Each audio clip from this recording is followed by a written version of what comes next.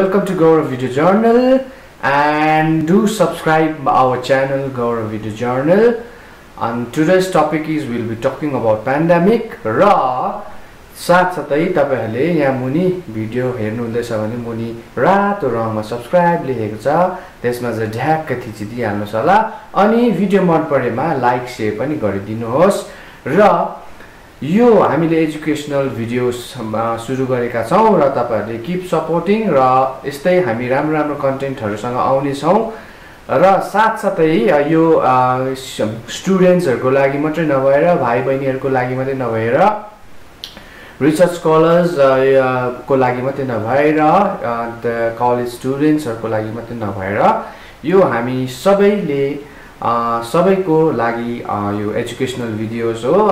Interested र जसले यस्तो कुराहरूमा रुचि राख्नुहुन्छ उहाँहरू सबैले यो भिडियो मार्फत धेर थोर कुराहरू जान्न सक्नुहुन्छ। र फेरि पनि भन्दैछु तल रातो रङमा एसयुबिएससिआरआइबी लेखेको छ। त्यसमा चाहिँ च्याक च्याक च्याक थिचिदिनुहोस् होला। र यो भन्दै आजको विषय छ महामारी जुन चाहिँ जस्तै प्रकारको अहिले हामी COVID nineteen novel corona virus पनि भनिन्छ जो हामी सबैले हामीलाई त्रा ग्रसित पारिरहेको छ संसारभरि त्राही त्राही भइरहेको छ।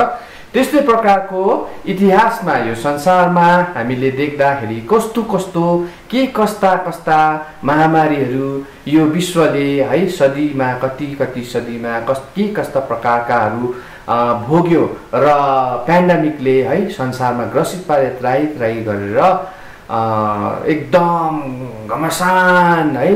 त्यो मचाइदियो यो विश्वमा नै त्यस्तो विषयकोमा top ten most and worst pandemic in history or let's put it in like put it like this top ten worst pandemic in हिस्ट्रीको विषयमा आज हामी जान्नेवाला छौँ।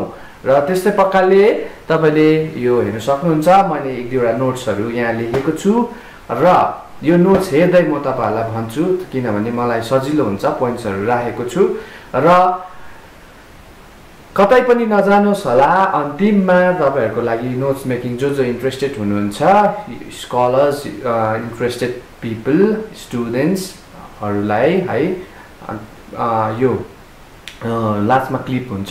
एकैचोटि स्किप गरे पनि नोट्स नबनाउनुहोस् किनभने यो कुराहरू बुझ्दै तपाईँ हामी कनेक्टेड बस्दैकन यो पेन्डामिकमा बातचित गर्दै हामी कनेक्टेड भयौँ भने राम्रो हुन्छ। र सुरु गरौँ है त है? र के छ भन्दाखेरि सर्वप्रथम पेन्डामिक भनेको चाहिँ के हो भन्दाखेरि यो चाहिँ एउटा डरलाग्दो महामारी रहेछ होइन? जो चाहिँ एउटा जग्गामा मात्रै कन्टेन्ट नभएर अरू देशमा सारा विश्व नै फैलिएर जान्छ त्यस्तो कुरालाई चाहिँ पेन्डामिक भनिन्छ महामारी हैजा है। अन्त इतिहासमा हेऱ्यौँ भने पेन्डामिक्सहरू पहिल्यैदेखि अब यस्तो भइरहेको अब त्यस्तो पाइँदो रहेछ। र सर्वप्रथममा चाहिँ एक नम्बरमा चाहिँ कुन चाहिँ प्लेग हामीले पाउँछौँ पाउँछौँ भन्दाखेरि चाहिँ एन्ट्रोनाइन प्लेग भन्दो रहेछ। यो चाहिँ six one sixty five to one eight zero one eighty एडीमा पाइन्छ। र यो चाहिँ तपाईँको पेन्डामिक चाहिँ कहाँ कहाँ असर पार्यो त? भन्दाखेरि एसिया इजिप्ट ग्रिस अनि इटली भन्ने यस्तो देशहरूमा हामीले पाइन्छ। र यो चाहिँ केमा सोचेको थियो रहेछ भन्दाखेरि मिजल्स है अनि स्मल पक्सहरूमा फैलिए यस्तोबाट फैलिएको भनेर बुझिएको थियो। तर खास कारण चाहिँ के हो? अझै पनि थाहा भएको छैन। र यो जुन चाहिँ कारण थाहा नभएको हैजा महामारी एन्टोनाइन प्लेग चाहिँ तपाईँको रोमन सोल्जर्सहरूले चाहिँ घर फर्किँदा मेसोपोटे मेसोपोटामियाबाट फर्किँदा चाहिँ आफ्नो देशमा लगेर गएछ। र यो चाहिँ संसारभरि फैलिएर गयो। फैलिँदाखेरि चाहिँ कमसेकम पनि फाइभ मिलियन पिपलले लाई चाहिँ यसले मृत्यु गरायो। मृतक बन्न पुग्यो। र त्यसको बादमा हामीले के पाउँछौँ भन्दाखेरि दोस्रो नम्बरमा छ प्लेग अफ जस्टिनियन यो चाहिँ five forty one to five फोर्टीसम्मको अवधिमा देख्न पाइन्छ। र युरोपको झन्डै झन्डै हाफ अफ द पपुलेसन चाहिँ यस यो महामारीले मृत्यु गरायो। अन्त यो चाहिँ आउटब्रेक अफ ब्युबोनिक प्लेग पनि भनिँदो रहेछ है। अथवा त्यहाँदेखि त्यसको बादमा चाहिँ बाइजेन्टाइन एम्पायर र मेडिटेरेनियन पोर्ट सिटिजहरूतिर पुरा फैलिएर गयो पुरा त्यसमा असर गर्यो।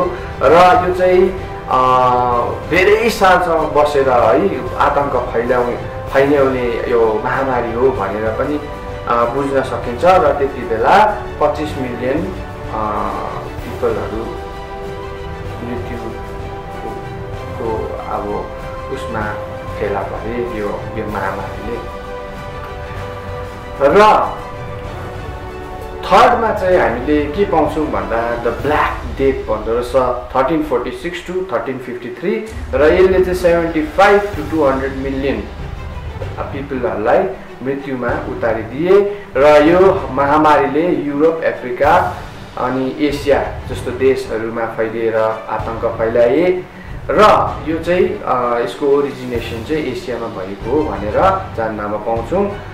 अन्त यो प्लेग चाहिँ कसरी फैलियो अरे भन्दाखेरि चाहिँ कन्टिनेन्ट कन्टिनेन्टहरूमा चाहिँ फ्लिजहरूबाट जस्तै पिसो भन्दो रहेछ। त्यस्तो जो चाहिँ एउटा ऱ्याट्सहरूमा बसेको हुन्छ त्यस्तोबाट फैलिएर जुन चाहिँ एक्सपोर्ट इम्पोर्टबाट ट्रेड अब त्यो मर्चेन्ट सिप्सहरू हुन्छ त्यो मर्चेन्ट सिप्समा चाहिँ मुसाहरू बसेको हुन्छ त्यस्तोबाट चाहिँ फैलिएको रहेछ भनेर जान्नमा पाइन्छ इतिहासमा पल्टाउँदाखेरि। र फोर्थमा हामीले के पाउँछौँ भने त्यसलाई चाहिँ थर्ड कोलेरा पेन्डामिक भन्दछ। यो चाहिँ eighteen fifty two to eighteen sixty T eighteen सिक्सटीमा पाउँछ। यसले वान ट्रिलियन डेथ गरायो। कज चाहिँ कोलेरा हो। अनि यो चाहिँ अब कोलेरा पनि डेडली आउटब्रेकहरू थुप्रै थियो तर यो जुन चाहिँ थर्ड आउटब्रेक चाहिँ सबभन्दा डरलाग्दो भनेर मानिँदो रहेछ। अनि यो चाहिँ इन्डियाको बाट स्प्रेड भएको थियो जहाँ चाहिँ ग्यान्जेस भन्ने रिभर डेटाबाट त्यताबाट फैलिएको भन्ने चाहिँ एउटा इतिहासमा पाइन्छ। अनि यो यहाँबाट फैलिएर एसिया जस्ता देशहरू युरोप जस्तो देशहरू नर्थ अमेरिका र अफ्रिकातिर पनि बसेर यसले महामारी फैलायो। अनि यसको कसरी चाहिँ सर्थ्यो भन्दाखेरि चाहिँ मिन्स अफ ट्रान्समिसन चाहिँ पानीबाट थिएछ। र हामीले अब अर्को चरणमा पुग्दाखेरि फोर्थमा चाहिँ कोही के पाउँछौँ भन्दाखेरि फ्लु पेन्डामिक यो चाहिँ eighteen eighty nine to eighteen ninety र यसले पनि वान मिलियन डेथ गरायो र कज चाहिँ इन्फ्लुएन्जा थिएछ र यसलाई Asiatic flu or Russian flu पनि भनिन्छ। र आउटब्रेकको कारण चाहिँ के थियो भन्दाखेरि influenza A virus subtype H two N two भनेर यसको मेडिकल अथवा साइन्टिफिक नेम त्यस्तो प्रकारले बुझिन्छ। अनि यसको ऱ्यापिड इन्क्रिज इन पपुलेसन भएकोले गर्दाखेरि नाइन्टिन सेन्चुरीमा चाहिँ आउटब्रेक फैलिनुमा चाहिँ एकदमै डरलाग्दो स्पिड भएर बढेर गयो। र सिक्समा छ सिक्स कोलेरा पेन्डामिक त्यसलाई चाहिँ nineteen ten to nineteen eleven पाइँदो छ। यसले चाहिँ तपाईँको आठ लाखभन्दा बेसी मान्छे मर्यो र कारण कोलेरा थिएछ अनि यसको ओरिजिनेसन पनि इन्डियाबाटै पाइँदो रहेछ इतिहासमा। र सेभेन्थमा छ फ्लु पेन्डामिक त्यो चाहिँ नाइन्टिन एटिनमा र बिसदेखि पचास मिलियनसम्म मान्छेलाई मारेछ अन्त कज इन्फ्लुएन्जा रहेछ। र यसको चाहिँ इन्फ्लुएन्जालाई चाहिँ के पनि भनिन्छ भाइरल इन्फ्लुएन्सन त्यसले चाहिँ जुन जुन अब रेस्पिरेटरी सिस्टमहरू एट्याक गर्छ जस्तै नोज थ्रोट लङ्सहरूबाट होइन? तर यो फ्लु पेन्डामिक नाइन्टिन एटिनमा जुन चाहिँ भयो सुत्पत्ति तर यसको चाहिँ के खुबी थिएछ भन्दा चाहिँ खालि एकदम हलियो हल हेल्दी होइन हुष्टपुष्ट भएको मान्छेलाई मात्रै मारेर कमजोरी बुढाहरू नानीहरूलाई चाहिँ उनीहरू चाहिँ बाँचेछ त्यो युनिक छ यो उयसको चाहिँ अब यो फ्लु पेन्डामिकको चाहिँ। र नम्बर एटमा हामीले पाउँछौँ Asian flu nineteen fifty six to nineteen fifty एटमा भएको कुरा रहेछ। यसले दुई मिलियन डेथ गरायो अनि कजको कारण छ influenza A of H two N two subtype र ओरिजिनेट कहाँ भयो भन्दाखेरि चाइनामा भएको रहेछ र यो कमसेकम पनि दुई वर्ष जति बसेकोमा देखा पाइन्छ।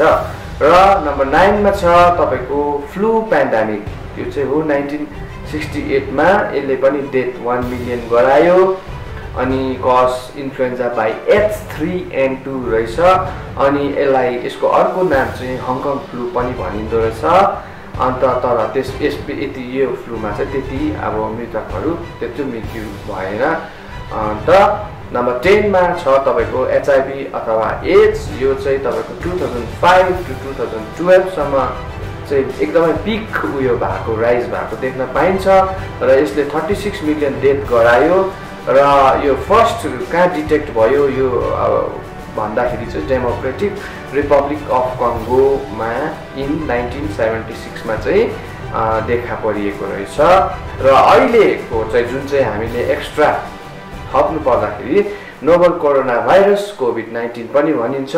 यो वुहानबाट सुरु भयो भनेर सुन्नमा आएको छ। चाहे त्यो चिन देशमा पर्छ र अझै पनि चलिरहेको छ र कहिलेसम्म हुने हो यो थाहा भएन र अन्तिममा यो भन्दै यहीँ राख्छु। This are the top ten worst pandemic in history and novel corona भाइरसको चाहिँ तपाईँ हामी नै हो विटनेस गर्दैछौँ संसारभरिको। जो पनि यो समयमा हुनुहुन्छ उहाँहरूले विटनेस गर्नुहुँदैछ।